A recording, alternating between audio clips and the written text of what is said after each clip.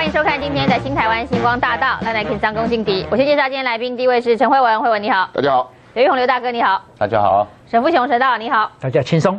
郑春琪郑大哥你好。大家好。蓝轩你好。大家好。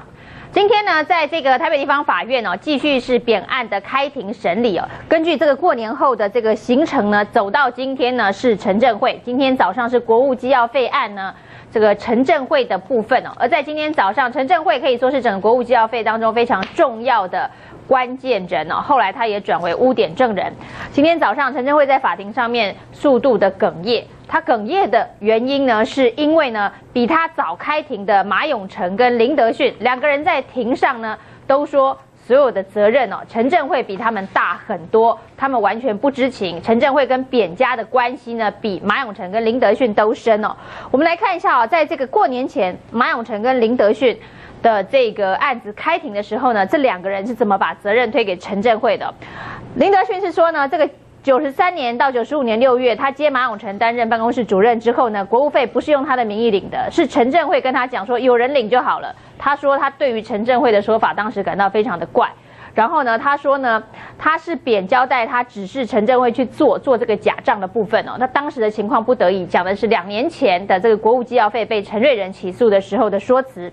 另外呢，他的律师哦帮这个林德训的辩驳是说，陈振会作为陈水扁长期的账房，作为出纳负责管理陈振会，对谁负责？国务费怎么使用？难道会跟林德训报告吗？陈振会是要林德训批准？还是要陈水扁、吴淑珍批准了。讲的是陈振慧其实单线可以对陈水扁跟吴淑珍的，林德训是在中间，完全不会知道他们对于钱的使用是如何。那有关于马永成的部分呢，说法也是相当一致，因为两个人律师是同一个人。那这个他的律师也是这样讲说，陈水扁呢，这个陈振慧是扁家的私人账房呢，那是总统府的出纳。说他会听总统府办公室的指示，还是听扁真的指示呢？其实说法是一样的。然后呢，陈振慧说他不知道怎么会有这么多假发票，连陈振慧是第一线的人都不知道了。马永成当然更不知道这个假发票，而且讲法一样，他是这个陈水扁私人财务处理多年，早在。总统任命之前就替陈水扁工作，把陈振会跟扁家的关系，以及这个跟在总统府的这个职务的关系哦，马永成跟林德训是推给了陈振会。今天陈振会在法庭上面哽咽了很多次，说我都是听马永成跟林德训的指示才会做这些事情的。他是作为一个公务员，是应该要这样子做的。后文怎么看这个法庭大戏？呃，陈振会是整个扁案里面第一个被收押的被告啊，在九月二十五号去年啊。大搜索之后，第一个就把他升押了哦。那陈振会在整个案子的贡献哈，我用贡献这个来形容，就是因为他是适用这个证人保护法，说要给他减刑免刑哦。这个部分，这个在卷里面应该是交代的很清楚。我相信蔡守训审判长他们已经阅卷阅过了哈，他们应该比陈水扁律师看看勤奋哈，早就阅卷阅做。他们知道陈振会在这个案子里面为什么特侦组对陈振会这么的优待，那是一个那是贡献哈。所以我我必须讲的抽象一点，就是说。在整个法庭里面哈，那个眼泪是不值钱的啦。也也许他今天正在法庭面真的哽咽或什么，我不是针对陈振会哦，你对陈振会也好，黄瑞金也好，考哎，那我讲，不是被看你哎考没考哈，不是在那个法庭的表演。当然很多被告会误以为说，哇，我表演给法官看呐，法官都不会受到影响吗？我跟你讲了，法官看多了啦，那那只有菜鸟法官会说，哎呦，你那靠我这可怜，那那我是今天要给。其实那个眼泪是不值钱的，那但是对民众的这个我们讲的法益而言哈，就说你同样都是贪污的被告，为什么这个人不用关，啊那个人要去关？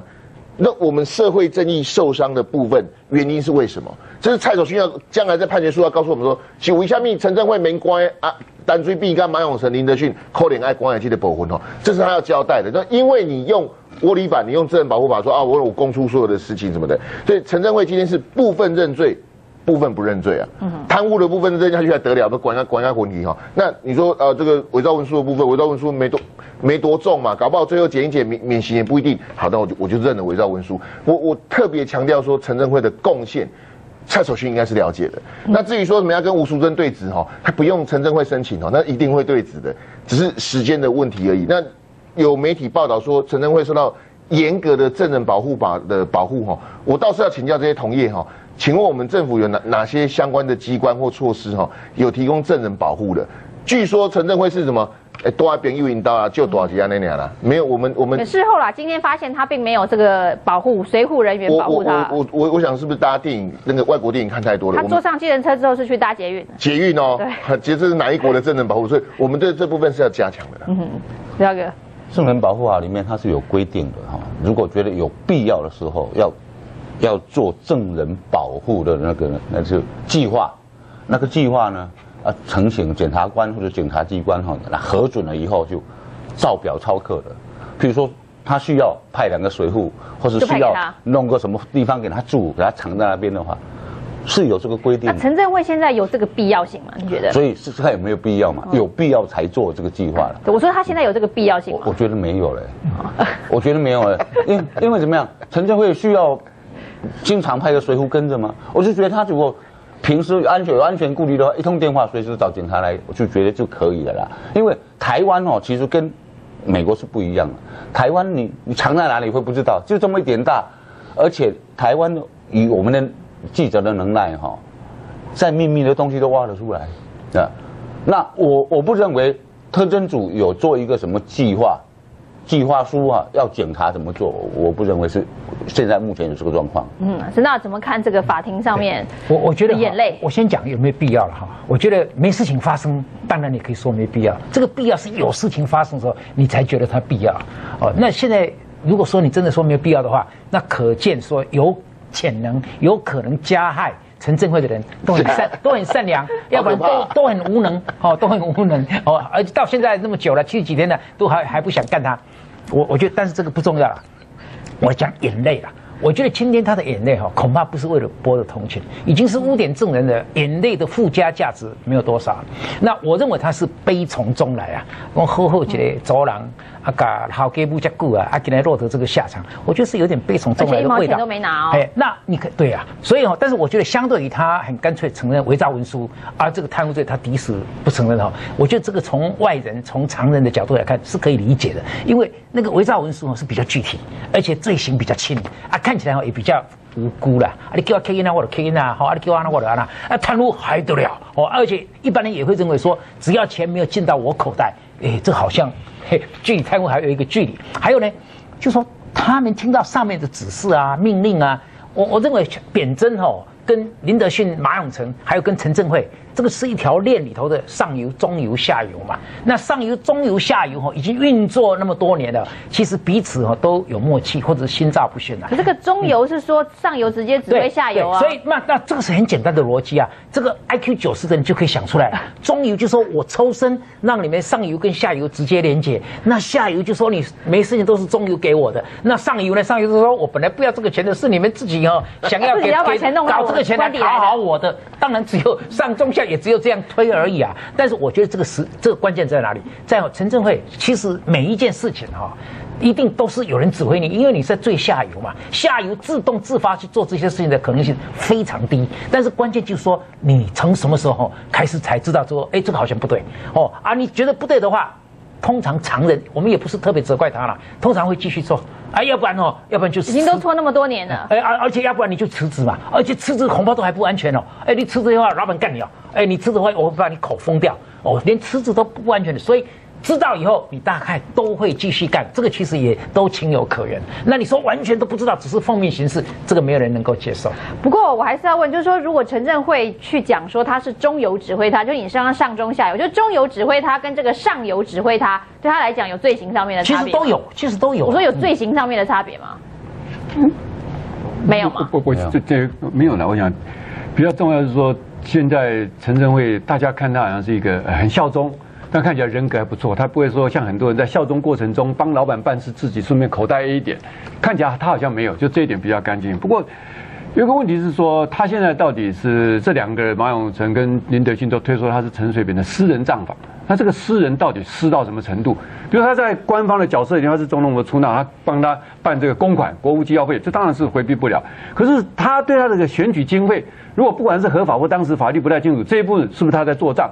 而如果只有他在做账这一部分，跟说现在我们最关心的这些不法所得、这些赃款、这些贪污的这些汇款，到底这我想我要问的是说陈正辉有没有经手？如果陈正辉有经手的话，他就恐怕不是那么简单。哎，我如果我贪污，我会把这个贪污交给这个人，这个关系就绝对不是非非同寻常。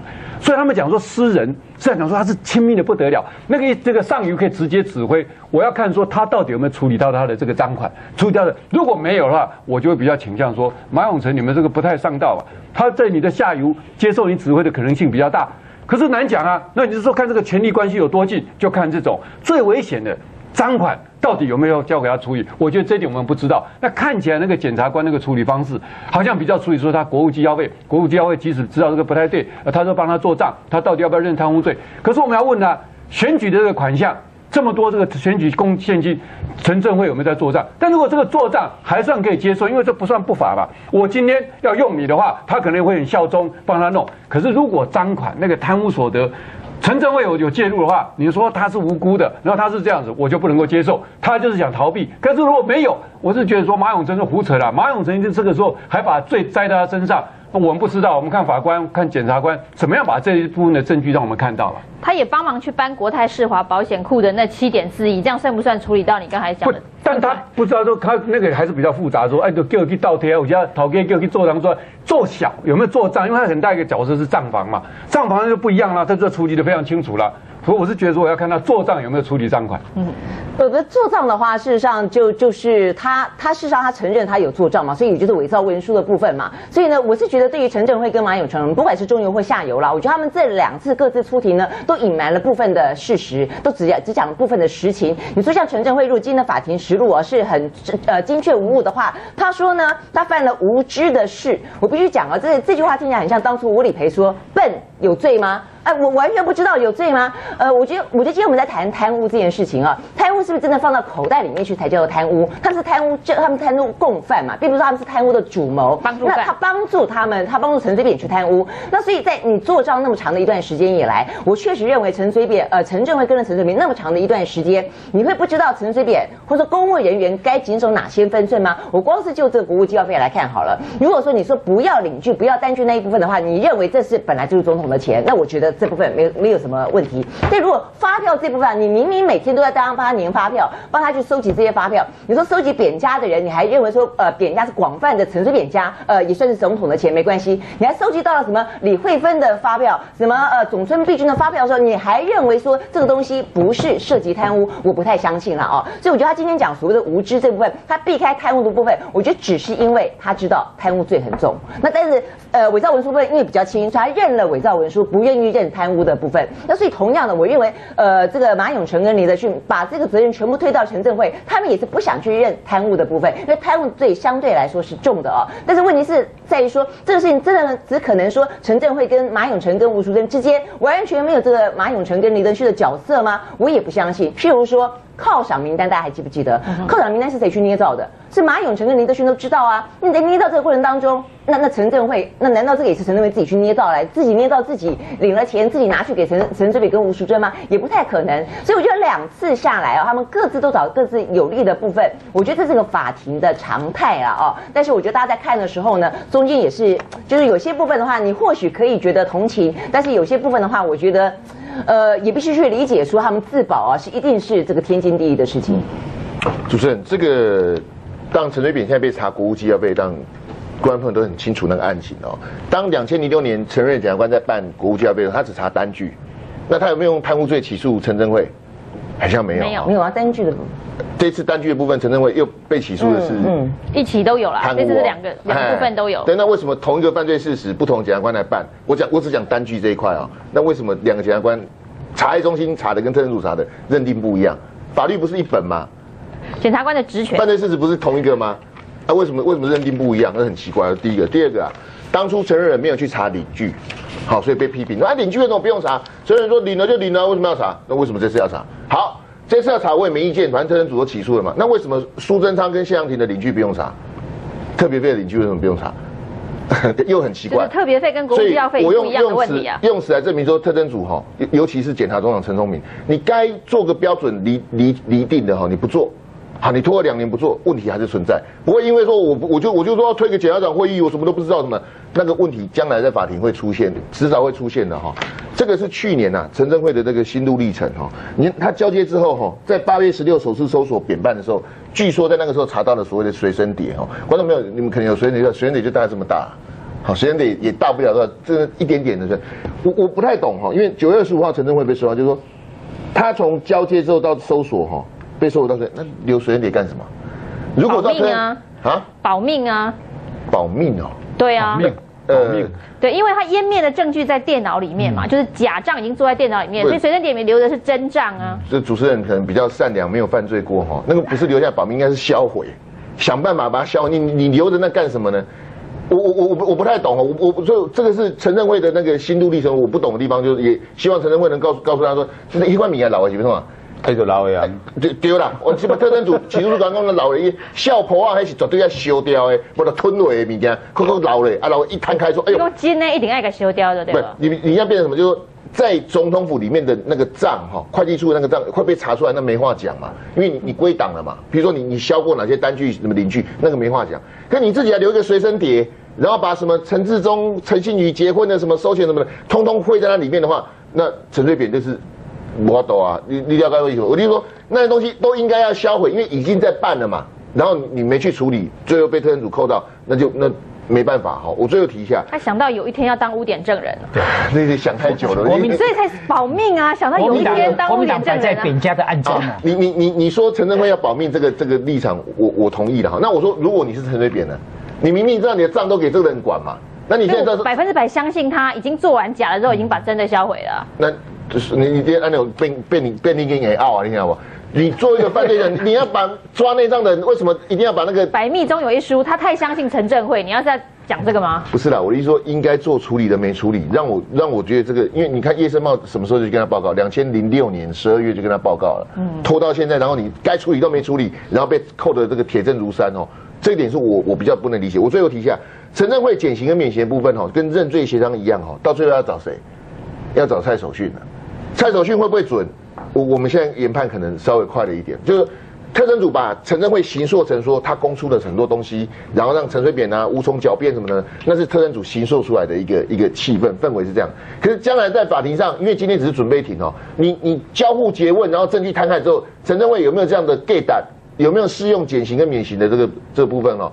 还有在观察了。嗯我我补充一下，我刚才在会文讲的这个事实过程的部分啊，从另外角度看呢，我觉得更可以证明说呢，其实陈正辉不只是伪造文书而已。如果说他知道那个随身碟里的东西只是涉及到伪造文书的话，哦他需要如此惊慌吗？对蓝轩刚主持人的话把陈正辉逼死了完全不需啊要，就代表说他明明知道这些东西其实是有不法的，只有让他自己心虚的部分，否则干嘛费尽那么大的心思，又要销毁电脑上面的，又要销毁随身碟里面的，随身碟还是放在自己的包包里面，要不是一时惊慌抓得太紧，被这个当场的这个检察事务官发现的话，大家不知道这个随身碟在哪里。所以我觉得这个陈振会讲到说他犯了无知的这件事情，我真的觉得是某个程度在他是有说谎啦。我认为他是有知的。那另外呢，其实刚才慧文讲到一点哦，就我我来之前我还特别去翻了起诉书，针对贪污共犯这件事情，呃，起诉书里面讲到陈振辉是认为他有罪的，但是呢，真的是很特别的，他上面是要求他唯一哦，那么多的被被被告里面，只有他在这部分他是建议免其刑的。所以呢，其实陈振辉我他我我想他今天在讲书，他不认罪哦，可能就是担心蔡守训这部分，就同不同意。检察官这边的建议，他不确定，所以也因此先不认罪，以免啊认了罪以后，万一没有要免其刑，那不就糟糕了吗？除了被主持人害之外，又被蔡守信害。污点证人哈，嗯嗯，一定减免的。对啊，对，减或免，减或但是他们真的是写免，像是马永成跟林德勋都是写减其刑。他他这个是看那个它是规定的，他有减的规规定，也有免的嗯规定。免的规定。它是免那陈正对它是会，唯一贡献度到哪里可以免？他这个如果贡献是卓著，他他这个这个他这个有时是在检察官侦讯中，然后因为你供述这个别人的犯罪，然后怎么弄出一块这种情况下是一定要免的。嗯那那如果说你自己本本，我这个法条我要回去去细看所以，他会不会因为他出情了这个随况不一样身碟就可以免罪不是？那随身碟哈，他是讲我所了解的是那时候是其实电脑的部分是有销毁的。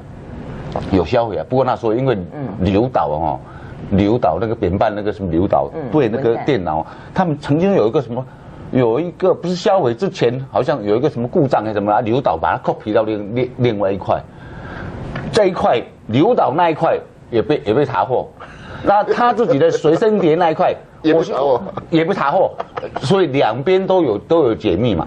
那我我觉得陈振慧他因为陈水扁那些人哦，有时候不见得会相信人，所以他自己留一块备份，他就电脑销毁了，另外一块不见得销毁，跟赌场一样，赌场警察都来收了，你为什么不不把那个账册销毁呢？但是它里面有些账是应收账款，要去追账啊，要人家说我输我没有输的多，拿给人家看，所以有他会把另外一部分重要的去藏在一个部分，所以有有时候很难讲了。如果每个都像陈慧文这么聪明的话，一犯完罪，所有证据消灭的干干净净，那那按理他们讲我觉得讲无知哈，刑法有规定啊，不能以不知为无罪啊。对哦，但是我我要替陈真辉讲一句话啊，这个是有点有点玩笑了哈，但是也不见得能够脱罪。但是陈真辉可以讲啊，这个是我跟随多年的老板，我忠心耿耿，我无从想象说位居全国最高位置的那个人会做这么大的坏事。那我讲，你看学问好，有如李洪熙教授。直到最近都还认为他是阿扁的钱啊。那你看位高权重的民进党那边党团，阿扁请到总统府来给他看了，他们回家也都说这是总统的钱啊。那既然立法委员呢、蓝绿营的立法委员呢、李鸿禧教授，还有一票其他的人都认为这是阿扁的钱，我小小一个女子，从高中毕业就跟随他，你为什么能够期待我比他们高明？这样可以不可以？你的这个说法跟于正宪的律师很接近。于正宪说他不能够拒绝吴淑珍，就是因为他们那时在社会上面的形象多么的好，吴淑珍还比陈水扁更好。对，不过还是就是说，我是觉得国务机要费还是要特别看的，就是说他做一个一个出纳，严格讲用很多这些假的发票或者甚至来报这个，几乎是这个官场惯例嘛。他可能第一个把它视同特别费，但其实很多，就我想一个公家机关里面拿一些有的没有的，大家都知道。然后你形式上有没有犯法？当然有犯法嘛，刑事上面贪污都是嘛。可这个东西在官场上不是，那他有没有这种情况？他把、偷偷摸摸把一些弄起来？你说因为这个东西来说，他一定是贪污是？我是觉得说有点勉强啊。那陈水扁他们在搞这些东西的时候，把这特别弄回去。他，我就认为他在他的陈顺会主观世界，可以认为说，这种啊官官定位惯例的贴顶，他可能不会认为说我真的是有意在协助他贪污了，还是回答说，你说他私人，我还是对他的私人账房，因为这是马永成扣他的，到底私到什么程度？比如说陈志忠他那个陈秀仪结婚的时候，啊婚内是呢，啊本来立的做稿做可以给啊，找你来帮忙收收钱，这种也是处于一种钱，那种钱是光明正大是礼金啊，其实这个礼金里面可能有那些政治贡献现金，他也不太能够分辨嘛。我要问的是说，那么选举款他有没有在帮忙？更重要的是赃款他有没有帮忙？如果有，他不要讲那么多废话了。阿扁会把这说，哎，哇，下面党黑，他他搞了这么多，现在不光了这几亿，他都有做账，不是是搬运。我认为陈政会推东推西就很难推。所以说，你们刚刚在讲的是国务机要费这一部分，这个我是认为说不要那么不必要那么严苛了。但是如果说不是超过这个范围，他有参与哦，他在那边装可怜，我是觉得这个这个骗骗局就太大了。好，你的意思说他要有一本账，是说某某金控是多少钱，某某金控是多少钱？对，哎比赛，我这就开就开玩笑，这一定是足足足深的、足内部、足输林的，叫我知影去做小的。我认为蔡守训哈不会为难陈振辉，不会为难陈振辉 所以让他搭计程车又搭捷运回家刚。刚为难陈振辉的人是他哎，没有，我刚刚只提出我的疑问。不能你疑问把陈振辉咬死了啊。好了，我们先接插播一个最新的讯息，在特侦组呢，昨天约谈了辜仲亮，今天呢则是约谈了郑生池哦，是不是二次精改的侦办速度正在加快当中？我们连线给记者刘世怡。好的，主播各位观众，特侦组持续侦办二次金改案以及后续洗钱案以及企业汇款案哦。在今天上午，在今天下午的时候，刚刚两点钟的时候，是传唤的洗钱案的被告郑生池来到案说明哦。郑生池这已经是他第三度来到特侦组了。实际上，在之前他来到特侦组的时间点是在去年的十月十七号以及十一月二十一号、哦，这已经是他第三次来到特侦组。主要要说明的案情，当然包括有些企业家疑似呢，就是透过这个郑生池来当中间的白手套，把钱行贿给扁家哦。因此呢，他知道的一定有更多的内幕，因此呢，特侦组的检察官就约谈他今天下午来到案说明哦。另外，针对之前哦有关于郑生池疑似就是协助呢这个代密，就是在海外直接汇款一百五十万哦，因为一百五十万美金的部分哦，因为之前呢吴淑珍呢就希望郑生池能够帮忙找找看，在海外有没有办法把一百五十万的美金可以汇到海外去哦，而在这个时候呢，郑生池就找上了证人哦，也就是江松熙以及吴喜贤两个人一起把这笔钱呢是换成了美金，并且呢钱最后都是流到了新加坡标准银行账户里头，只是说由于这一百五十万的美金最后是汇到。吴景茂的账户里头，可是呢，在台湾呢，吴淑珍又有收到新台币四千八百万元的现款哦，因此说这笔钱是互相交换来说的话，可能就是形成了资金的断点，让检方是非常难追查的。因此，检方今天再一次的来约谈郑生池，就是要厘清这个部分，也要厘清说有关于郑生池担任白手套，到底有多少企业家拿钱给郑生池，郑生池再把钱拿给扁家，这都是必须要逐一厘清的部分。而目前呢，特侦组检察官都在。对他进行甄选部分，随时有最新状况再为你插播报道。把时间还给彭丽主播。